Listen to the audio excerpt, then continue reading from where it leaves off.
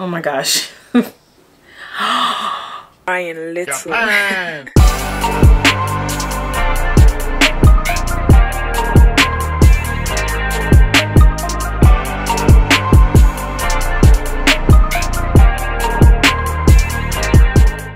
Hey Luz, I know it's been about maybe 10 days, but I am getting ready to film episodes three and four of Ginny and Georgia. But first, this month returns Bridgerton. And this is where this channel got its wings. Like this series is part of why this channel is growing. It's part of why this channel is now monetized. And so I wanted to take a moment to make sure that we reacted to the season three Bridgerton trailer. So that's what we're gonna be doing today. I'm excited. I've been doing everything in my power to avoid clips, teasers. I've been trying to stay off social media because I really want you guys to get an authentic reaction from me with this trailer. So I'm so excited. I bet you guys are excited too. Before we get into this uh, trailer and before we start this reaction, Make sure that you subscribe and click the notification bell so that you don't miss any other reactions from me. And let's start the season three trailer for Bridgerton. Dearest gentle reader, we have been apart for far too long. Far too long. The way Pen is giving face and hair and it seems oh. that our oh. bon ton is moving with the changing tide. So too is. What is she doing with her? I don't like that. I must take a husband. Does my lady have a suitor in mind? Is that her brother? Colin? Papa! Hottest woman. Brother, under what foreign sun did you apparently oh, get no, so no, no. sturdy? now he said he was sturdy. I know that's right. Seems as though every Bridgerton was born to attract notice. For some of us, notice is very slight. I feel like I'm gonna cry. If a husband is what you seek, let me help you. Are we not friends? Ooh. My heart is racing. Friends. I should like to see your skills as they are first. How delightful to see you all. The splendid weather we are having. Oh, she's she's gonna pass out. I would not be angry if you found me to be a lost cause. You must not say such things. You are Penelope Featherington. Do not forget that. Hmm. I know that's right. Since when are you worried about Penelope?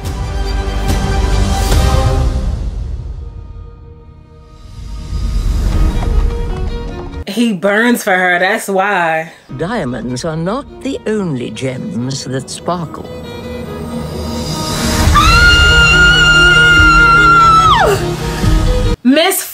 Featherington! My wig about to come on! Lord Debling. He is eager to take a wife this season.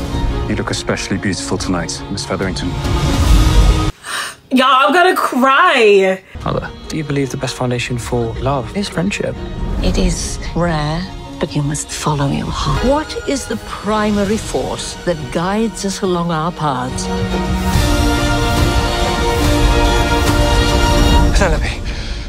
Is it our minds or our hearts?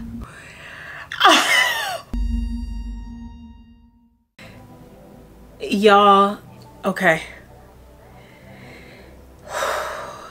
As someone who's been watching from season one, there is something about seeing a woman go from feeling undervalued, unseen, unheard, to literally blossoming, blossoming, to literally blossoming into who she really is.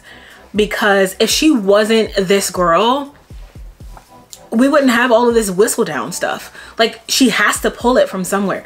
I am gagging. I'm gagging. And the actors are really selling it.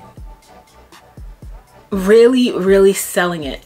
I am on fire for this season y'all full transparency what is it next weekend that bridgerton you know season three begins i'm gonna be steeped in this I am going to do my very best to get the next two episodes of Ginny and Georgia out for you guys for this coming weekend because I already know next weekend is to be crazy.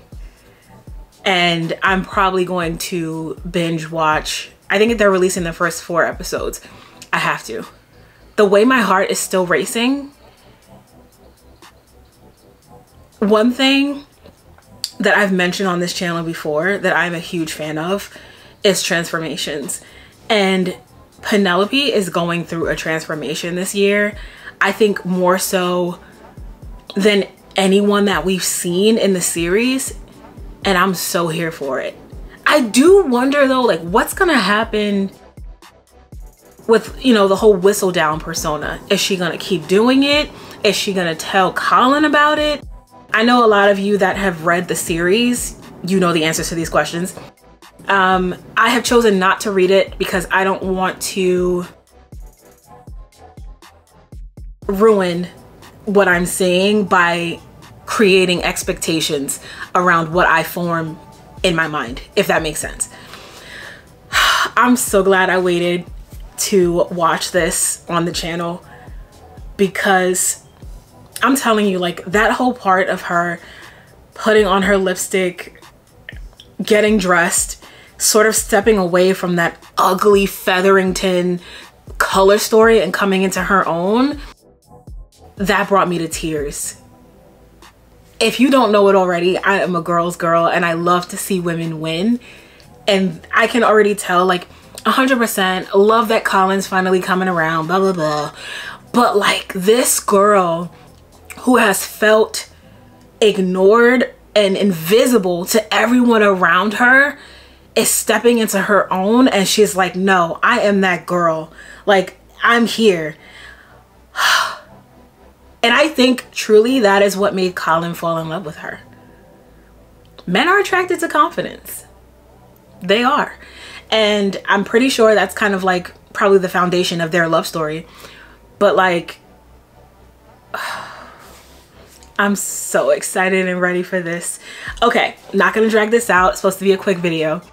But yes, if you have not already, make sure that you subscribe and stay tuned for the next two episodes of Ginny and Georgia. Okay,